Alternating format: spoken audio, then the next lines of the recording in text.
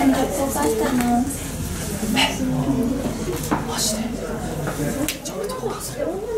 きな人と交換するんじゃないの？いや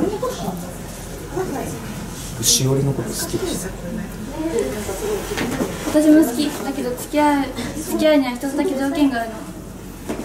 スーパーストゥーストゥーデントじゃなきゃ嫌なの。もう一回言ってみ。スーパースーパーストゥーデントじゃなきゃ嫌なの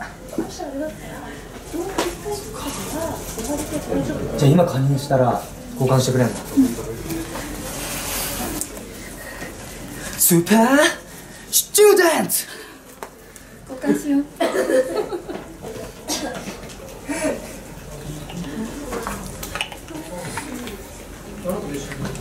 そうここから中島健の恋愛ストーリーが始まったのだった。てれれー